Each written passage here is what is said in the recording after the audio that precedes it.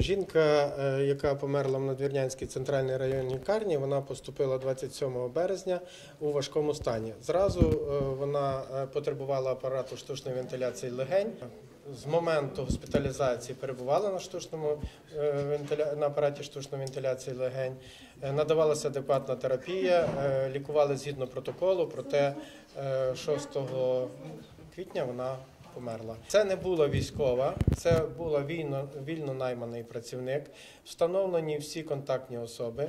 Всі військові, які е, десь перебували в контакті з цією жіночкою, вони вже ізольовані за інформацією командування цієї військової частини.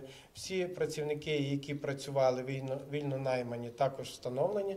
Ну, е, вони повинні за нашими рекомендаціями до керівництва, враховуючи те, що вони підпорядковані Міністерству оборони, за нашими е, рекомендаціями, вони також повинні підлягати ізоляції в заклади охорони здоров'я або е, самоізоляції і мають бути під спостереженням медиків.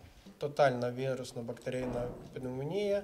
COVID-19. Час лікування, ви знаєте, згідно методики, її брали е, експрес-тест. Е, Експрес-тест був е, слабо позитивний, проте е, після того був проведений ПЛР-діагностика. Діагностика підтвердила COVID-19. Результат ПЛР-діагностики прийшов в день її смерті. Я Вважаю і зрештою ми бачимо, що основним е, важким ускладненням це є пневмонія вірусно-бактерійна, яка не піддається лікуванню.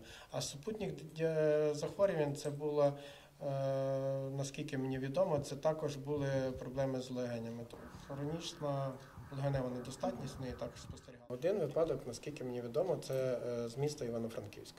Е, Хочу повідомити, що ця жертва це жіночка е, з 71 рік. Вона також мала багато супутніх е, е, захворювань і також перебувала на апараті штучної вентиляції легень. Основна причина е, всіх таких летальних випадків це вірусно-бактерійна важка зливна пневмонія, яка важко піддається лікуванню.